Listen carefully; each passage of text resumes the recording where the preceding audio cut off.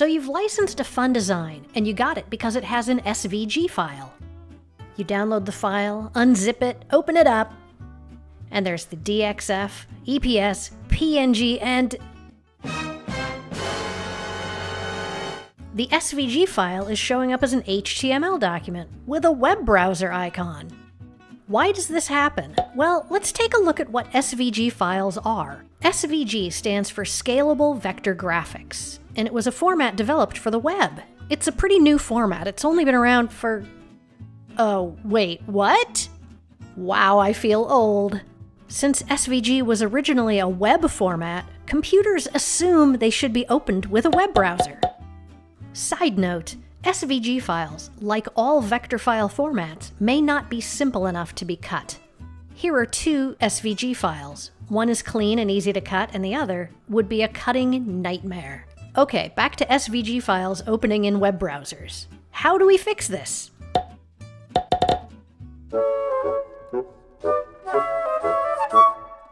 The fastest and easiest thing to do is just turn on your file extensions. Click on View, then check the File Name Extensions box. You'll now see .svg at the end of your file name.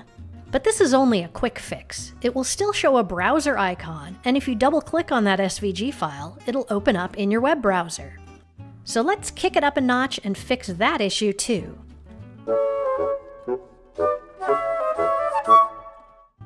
Just right click on an SVG file, then hover over Open With. Click on the app you want to use, and your SVG file will open in it. But this isn't a permanent change. We still have that browser icon. So let's fix that. Right click again and hover over Open With. But this time, click on Choose Another App. Click on the program you want to use to always open SVG files. Then be sure to check this box next to Always Use this app. Then click OK. Now your SVG files will have that program's icon, and when you double click, they'll open up in that program. We taught the computer which program to use. But what if the program you want wasn't on the list? We can fix that too. We just have to dig a little bit deeper. Right click on an SVG, hover over Open With, and click Choose Another App again. This time, click on More Apps. This is a larger list and probably contains all of your internet browsers and vector design programs. But some programs are still missing from the list. Let's say you only use simple cut files and want to open them all in Silhouette Studio. Nope, Studio is not in this list, but that's okay. We can search for any program we want. Click on Look for another app on this PC.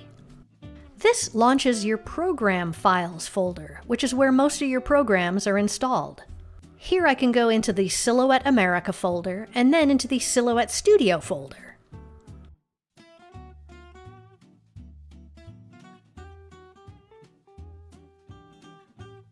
I'll click on silhouettestudio.exe, which is what launches the Silhouette Studio program. Then I'll click Open. And there we go, our SVG opens up in Silhouette Studio. But it will only open Studio this one time because we didn't check that Always Use This App box. No worries though, right click, hover on Open With, click Choose Another App, and now Silhouette Studio will be in the list.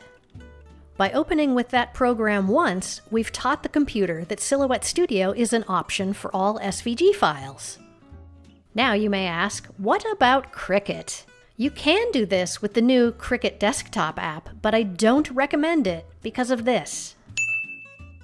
Because Cricut doesn't open files the same way other programs do, you can set it to show the icon. But when you double click, it's only going to open the program. It won't open the SVG file inside the program. So I recommend assigning SVG files to a vector design program. They can all open SVG files and make editing and modifying them super easy. And remember, doing all of this doesn't actually affect the files themselves at all. It only makes the file wear a different hat. The file wears a different icon, but it's still the same SVG file deep down inside. I hope this guide makes it easier to organize your files and saves you that moment of panic when it looks like the SVG file isn't in a folder. Thanks for watching. Now go make stuff.